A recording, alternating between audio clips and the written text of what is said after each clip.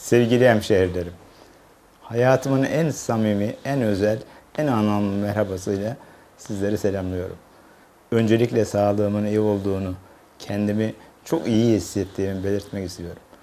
Dualarınızla, desteklerinizle zor günleri geride bırakmaya başardım.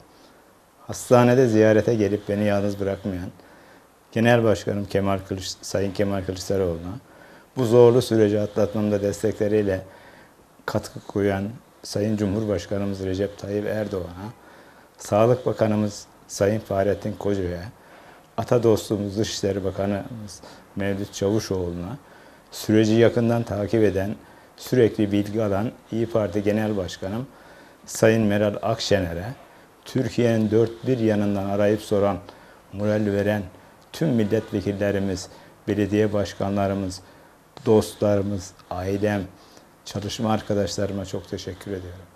Tedavim sürecinde üstün gayret göstererek Antalyalılara hizmeti devam ettiren belediye bürokratlarımıza ve meclis üyelerimize ve tabii ki de en önemlisi sağlığıma kavuşmama sağlayan Akdeniz Üniversitesi Hastanesi'ne fedakar, cefakar doktorlarına, tüm sağlık çalışanlarına, Akdeniz Üniversitesi'nin rektörü Sayın Profesör Özden Özkan ve idari kadrosuna minnetlerimi sunuyorum.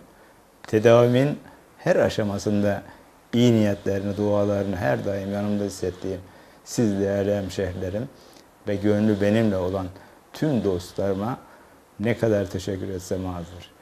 Kısa bir fizik tedavi süreci sonrasında en kısa sürede aşık olduğum Antalya'ma ve canımdan çok sevdiğim Antalyalılara hizmet için görevimin başında döneceğim. Günü sabırsızlıkla bekliyorum. Bilmenizi istiyorum. Hepinizi çok seviyorum. Çok yakında görüşmek üzere. Sağlıkla kalın.